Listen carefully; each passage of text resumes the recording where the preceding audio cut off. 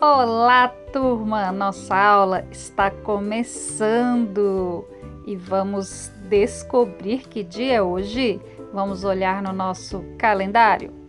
Hoje é sexta-feira, dia 13 do mês de agosto do ano de 2021 e a nossa data ficou assim: dia 13 do mês 8, que é agosto do ano de 2021.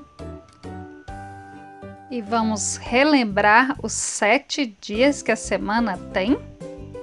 Domingo, segunda-feira, terça-feira, quarta-feira, quinta-feira, sexta-feira e sábado. Nós já passamos pelo domingo, segunda-feira, terça-feira, quarta-feira, quinta-feira e hoje é sexta-feira. E como está o tempo? Dá uma olhada lá fora. Ensolarado? Nublado? Chuvoso?